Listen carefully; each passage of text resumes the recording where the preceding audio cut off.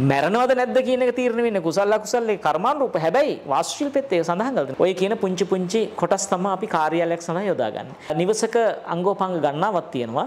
නිවසක ගෘහාංග ගණනාවක් තියෙනවා. පිළිගත් ඒ වගේ සුසුගන් ලත් වාස්තු ශිල්පියෙකුට පෙන්නලා ඒ උපදේශය ගන්න.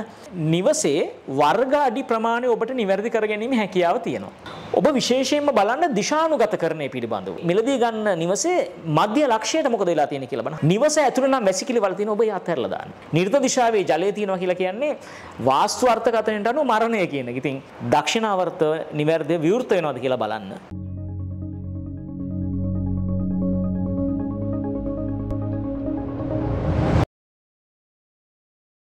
ආයිබෝවන් මහාවාස්තු ශිල්පය හැමදාමත් ඔබගේ ජීවිතයට එකතු කරන්නට අපි හැමදාමත් මහන්සි ගන්නේ. මේ ශිල්පය අපේ ජීවිතයට ඉතරම්ම වැදගත් ශිල්පයක් නිසා. ඔබ නිවසක් ඉදිකරගෙන ඒ නිවසේ ජීවත් වෙනකොට ඔබට ගොඩක් දේවල් දැනෙනවා. ඔබට හොඳ දේවල් දැනෙන්නට පුළුවන් ඔබට අයහපත් දේවල් දැනෙන්නට පුළුවන්. ඒ ඔබ ඉදිකරගන්න නිවස. ඒ ඉදිකරගන්න නිවස ඔබට ඉදිකර ගැනීමේදීම ඔබට අයහපත් දේවල් නොදැනෙන ආකාරයට යහපත් දේවල් දැනෙන ආකාරයට ඉදිකර ගැනීමේ හැකියාව ඔබට තියෙනවා. ඔබ තමයි මුල් ගල තියන්නේ. ඔබේ නැකැත් වලට තමයි හදන්නේ. ඔබ තමයි ඉඩම තෝරාගන්නේ. ඔබ ඔබ ඊට අදාළ නිවැරදි කිරීම උපදිෂ් ටික ගන්නට පුළුවන්. මේ හැම දෙයක්ම ඔබට සිතගේ පරිදි ඉටු කර ගැනීම හැකියාව තියෙනවා. එසේ වුවත් ඔබ නිවසක් මිලදී ගත්තොත් ඔබට ඔබට තියෙන ඒ නිවස තමයි මිලදී ගන්නට වෙන්නේ. එතකොට ඔබට මේ නිවසේ නැකැත් වෙන කාට හරි හැදිලා තියෙන්නේ මුල්ගල වෙන කවුරුහරි තියලා තියෙන්නේ වෙන කාගේ හරි අදහසකට තමයි මේක හදලා තියෙන්නේ. එහෙම වුණාම ඔබට අර කියන වාස්තු සිද්ධාන්ත ඔබට එක එකතු කර ගැනීම එකඟ කර ගැනීමේ යම් බාධාවක් මතුවෙනවා. ඒ නිසා නිවසක් මිලදී ගන්නකොට වගේම ඔබ ව්‍යාපාරික කටයුත්තක් සඳහා කාර්යාලයක් මිලදී ගන්නකොට ඔබට අවශ්‍ය වූ මූලිකම වාස්තු සිද්ධාන්ත ඔබ දැනගත යුතුම කරුණු කාරණා මොනවාද කියන එක පිළිබඳව තමයි අද අපි පැහැදිලි කර දෙන්නට උත්සාහ ගන්නේ. විශේෂයෙන් ඔබ නිවසක් මිලදී ගත්තත් ඔබ ව්‍යාපාරයක් සඳහා කාර්යාලයක් මිලදී ගත්තත් මේ කියන පොදු සිද්ධාන්ත පිළිබඳව ඔබ එකසේ සැලකිලිමත් විය යුතුයි. ගොඩක් වෙලාවට අපිට කාර්යාලයක් මිලදී ගන්නකොට නිවසක් මිලදී ගන්න තරම්ම වාස්තු සිද්ධාන්ත පිළිබඳව අපිට සොයා බලන්න අවස්ථාව ලැබෙන්නේ නැහැ. මොකද අපි දන්නවා කාර්යාලයක් හෝ ඒ වගේ ව්‍යාපාරික ස්ථානයක් ගොඩක් වෙලාට අපි ඉඩකඩ සීමා සහිත පුංචි ප්‍රමාණයක් නේ ගොඩක් වෙලාට මිලදී ගන්න. සමහරට අඩි 20 40 කෑල්ලක් වෙන්නට පුළුවන් 10 12 කෑල්ලක් වෙන්නට පුළුවන්. සමහර වෙලාවට ලොකු ලොකු ෆැක්ටරියක් වගේ නම් අපිට ඒක ලොකු පරාසයක විහිදෙනවා. නමුත් බොහෝ වෙලාවට 90%ක්ම ඔය කියන පුංචි පුංචි කොටස් තමයි අපි කාර්යාලයක් සඳහා යොදාගන්නේ. හැබැයි ඒ වගේ මේ නිවසක් කියලා කියන්නේ Uh, නිවසක අංගෝපාංග ගණනාවක් තියෙනවා. නිවසක ගෘහාංග ගණනාවක් තියෙනවා. Uh, ඉතින් ඒ නිසා අපි සුවිශේෂී අවධානයක් යොමු කරන්නට ඕනේ නිවසක් මිලදී ගැනීමේදී. Uh, මම අද උත්සාහ කරන්නේ නිවසක් මිලදී ගන්නකොට ඔබ සැලකිලිමත් යුතු කරුණු මොනවාද? ඒ වගේම කාර්යාලයක් මිලදී ගන්නකොට ඔබ ව්‍යාපාරික ස්ථානයක් මිලදී ගන්නකොට ඔබ සැලකිලිමත් යුතු කරුණු මොනවාද කියන කාරණා ඔබ ගේ දැනුමට එකතු කරන්නට. අපි ඉස්සලාම් බලමු ඔබ නිවසක් මිලදී ගන්නකොට කුමන කරුණු පිළිබඳව ඔබ විශේෂයෙන් සැලකිලිමත් විය යුතුද කියා. මෙහිදී ඔබගේ ඔබ නිවසක් මිලදී ගන්නට යන මොහොතේදී ඒ මිලදී ගන්නට පෙර මේ පිළිබඳ අවධානය යොමු කිරීම වටිනවා. මොකද නිවස මිලදී ගත්තට පස්සේ ඔබ මේ පිළිබඳව අවධානය යොමු කරලා වැඩක් නැහැ. මොකද ඒ තියෙන අඩුපාඩු නිවැරදි කරන ඔබට තවත් වියදමක් දරන්නට එනවා. ඒ නිසා ඔබ මුලින් මේ තියෙන අඩුපාඩු වැරදි හරියට පුරෝකථනය කරගත්තොත් ඔබට මේකේ ආර්ථික වටිනාකමකුත් හදාගැනීමේ හැකියාව තියෙනවා. විශේෂයෙන් ඔබ නිවසක් මිලදී ගන්නට උත්සාහ කරන මොහොතේදී ඔබ ඒ නිවසේ සැලසුම පිළිබඳ විශේෂ අවධානයක් යොමු කරන්න. එය පිළිගත් ඒ වගේ සුසුගන් ලත් වාස්තු ශිල්පියෙකුට පෙන්නලා ඒ උපදේශය ගන්න. ඒ වගේම මේකේ ඔබ නිවසක් මිලදී ගන්නකොට වාස්තු පැත් විතරක් නෙමෙයි. මේ භෞතික පැත්ත, ඒ වගේ නීතියානුකූල පැත්ත, සමාජ පැත්ත, ඒ වගේම මේකේ තියෙන ස්වභාවික ආපදා තියනවද කියන මේ සියලු දේවල් පිළිබඳව ඔබ විමසිලිමත් විය යුතුයි. මෙහිදී මම කතා කරන්නේ වාස්තු સિદ્ધාන්තමය පැත්ත විතරයි. ඒකෙදි විශේෂයෙන්ම ඔබගේ නිවසේ වර්ග අඩි ප්‍රමාණය ඔබට නිවැරදි කර ගැනීම හැකියාව තියෙනවා. ඒක ප්‍රශ්නයක් කරගන්න එපා. ඔබ විශේෂයෙන්ම බලන්න දිශානුගත කරණය පිළිබඳව. ඔබගේ නිවස ඔබ මිලදී ගන්න යන නිවසේ ඊශාන සහ නිර්ත ගැන විශේෂ අවධානයක් යොමු කරන්න. ඔබ මිලදී ගන්න යන නිවසේ ඊශාන දිශාවේ නම් කුස්සිය තියෙන ඔබ මිලදී ගන්න එපා. නිර්ත දිශාවේ නම් කුස්සිය තියෙන ඔබ මිලදී ගන්න එපා. ඒ වගේම ඔබගේ ඒ මිලදී ගන්න නිවසේ මධ්‍ය ලක්ෂයට මොකද වෙලා තියෙන්නේ කියලා බලන්න. හරි පාසුයි මේ සිද්ධාන්ත පෙළ ඔබට තෝරා බේර ගන්න. ඒ කියන්නේ ඔබගේ නිවසේ ඔබ මිලදී ගන්න යන නිවසේ මධ්‍ය ලක්ෂය සෙන්ටර් පොයින්ට් එක ළඟ පඩි පෙළ තියෙනවද? টয়ලට් වැසිකිලි වලවල් තියෙනවද? එහෙම නැත්නම් එතන මැද මිදුලක් හදලා තියෙනවද? මෙන්න මේ වගේ තැන් තියෙනවා ඔබ විශේෂයෙන් අවධානය යොමු කරන්න මේ වගේ තැන් වලට ඔබ යන්නට එපා. මතක තියාගන්න හරි ලේසි ඊශාන දිශාව නිවැරදි. ඊශාන දිශාවේ ගරාජ් එක. ඊශාන දිශාවෙන් ගේට් එක. ඊශාන දිශාවෙන් ප්‍රවේශ මාර්ගය.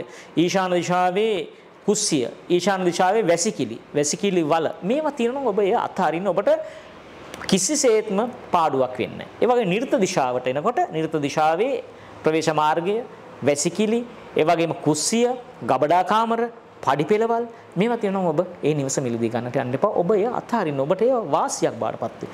ඒ වගේ තමයි මධ්‍ය ලක්ෂ්‍ය මම අර කිව්ව ආකාරයට දුර්වල වෙලා නම් බිත්තියකට යට වෙලා නම් කණුවකට යට වෙලා නම් පඩිපෙළකට යට වෙලා නම් ඒ තුල විල් පොකුණු හදලා නම් ඔබ ඒව අතහැරලා දාන්න. තවත් විශේෂී කාරණයක් මම මතක් කරන්නම්. ඔබ මිලදී ගන්න යන නිවසක වැසිකිලි වල බොහෝ වෙලාවට සමහර තැන්වල මේ නගරබද තැන්වල මේ නිවස ඇතුලේ තමයි වැසිකිලි වල තියෙන්නේ. ගරාජ් එකේ තියෙනවා.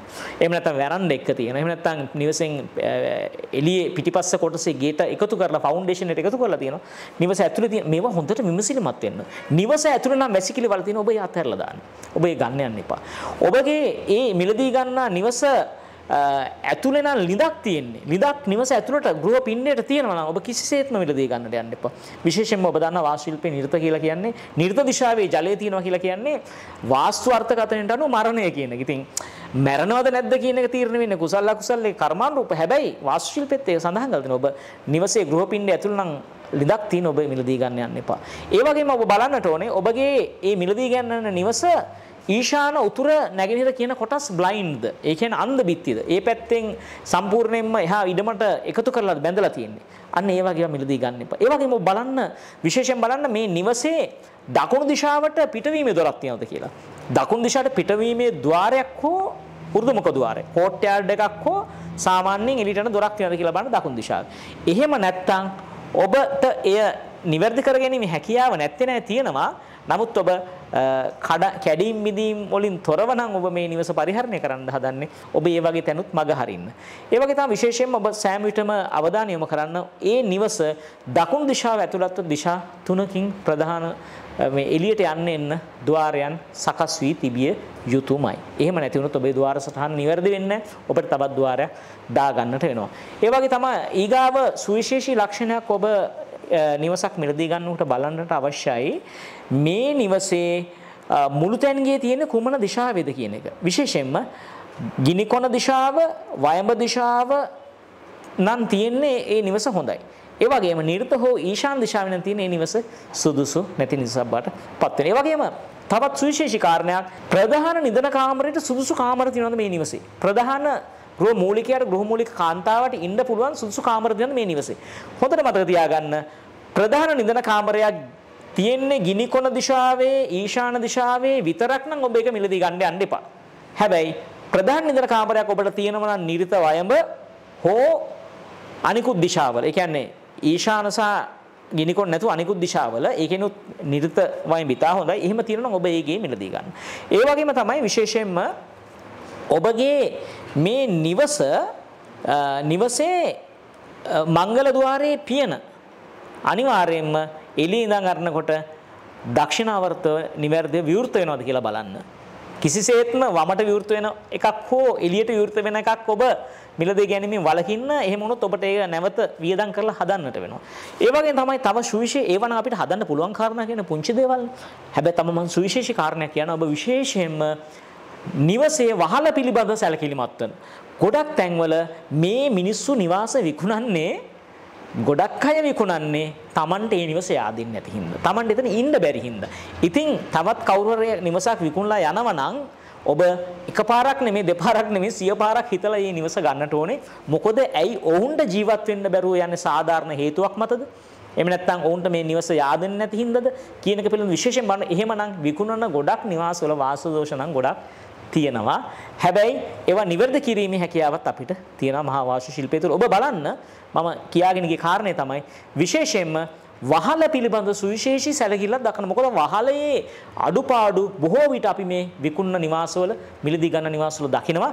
ප්‍රශ්නේ තමයි මේ වහලක් නිවැරදි කිරීමට විශාල මුදලක් වැය වෙනවා. ආර්ථික වටිනාකමක් වැය වෙනවා. ඔබට ආර්ථික පාඩුවක් වීමේ හැකියාව තියෙනවා.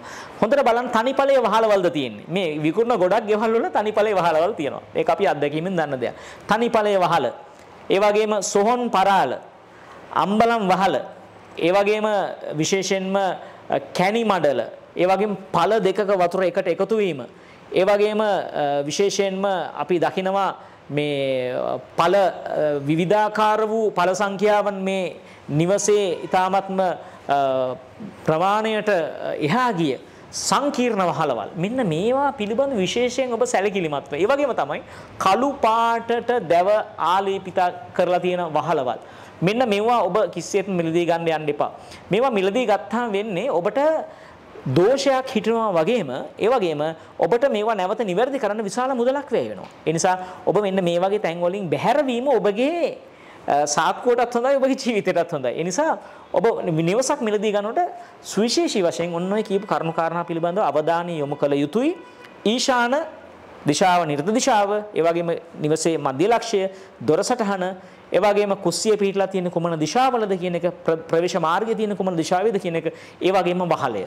මෙන්න මේ කියන කරුණු පිළිබඳ සුවිශේෂී අවධානයක් යොමු කරන්න. මොකද මේවා ජීවිතයට දැනෙනවා.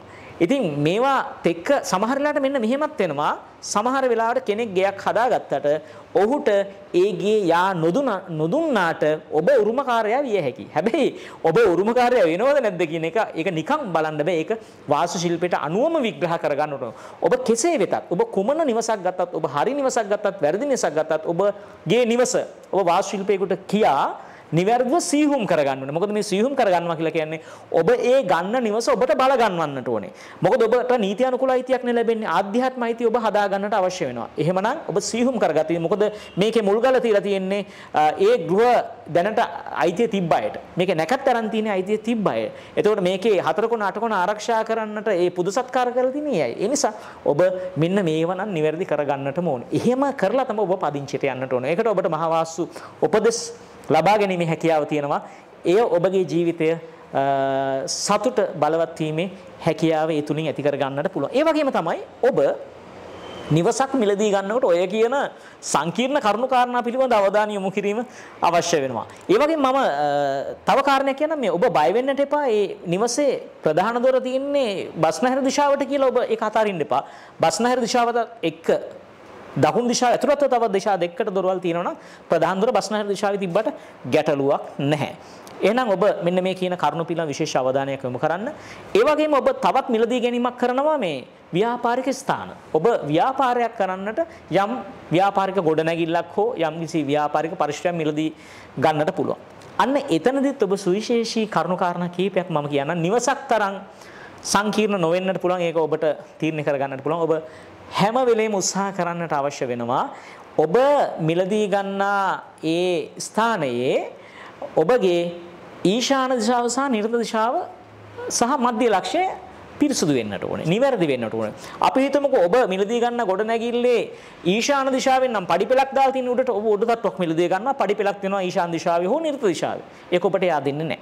ඒ වගේම ඔබගේ ප්‍රධාන දැ ව්‍යාපාරි ගොඩනැගිලට මේ ටොයිලට් වලවල් ඇතුළෙන දාලාදන්න අන්න ඒ වගේ තැන් ඔබ මිරදි ගන්න එපා. ටොයිලට් වලක් ඇතුළේ තියෙන තැන ලිඳක් ඇතුළේ තියෙන තැන ඒ වගේම ඊශාන පඩිපෙල් තියෙන නිරත පඩිපෙල් තියෙන තැන් මිරදි ගන්න. ඒ වගේම කළු පාට ගාලා තියෙන බ්ලැක් කලර් කෝට්ස් තියෙන ඒ වගේම මහා රූස්ස ගස් තියෙන තැන් ගසක් ළඟ තමයි මේ ව්‍යාපාරික පරිශ්‍රය තියෙන්නේ. ඔබට අයින් කරන්නත් බෑ. ඒ වගේ තැන් ඔබ යොදා ගන්නට එපා.